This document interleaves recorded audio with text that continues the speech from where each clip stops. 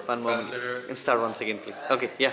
I'm Robert D. Holt. I'm a professor at the University of Florida, the United States of America. And I'm here on research and also to uh, sample India for the first time.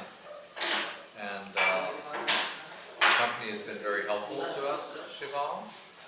And we particularly appreciated the drivers you arranged. Deepak and Ram both were nice guys and excellent, careful, uh, thoughtful drivers who were, were very attentive to our needs and uh, kept us out of any traffic accidents, which is uh, essential.